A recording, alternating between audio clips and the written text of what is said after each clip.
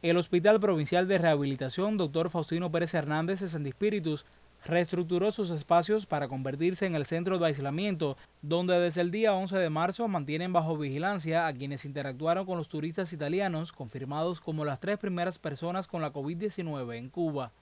En tres salas acondicionadas para este tipo de situaciones recibirán a cualquier persona bajo sospecha por infección respiratoria, ya sea adulta, menor de edad o mujeres embarazadas. Todos los pacientes que tenemos en vigilancia se encuentran asintomáticos con su seguimiento adecuado. Desde aquí mantienen informadas vía telefónica a las familias de las personas en aislamiento, quienes reciben atención médica especializada y con el empleo de todos los recursos establecidos por los protocolos de bioseguridad.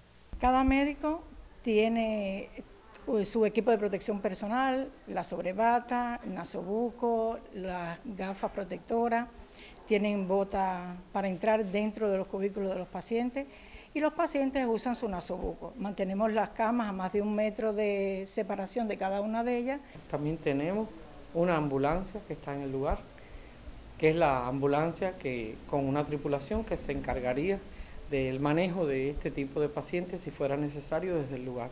El vestuario del personal médico y las personas aisladas se esteriliza y lava por separado.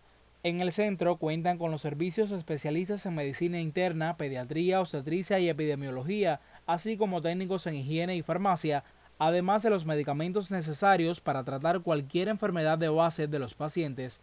Las medidas aquí tomadas demuestran la seriedad que presta el sistema de salud y el gobierno cubanos a esta situación excepcional, aunque la principal estrategia para contener a la COVID-19 en nuestro país consiste en prevenir. Fue un reporte de Javier Alejandro Brito para el noticiario En Marcha.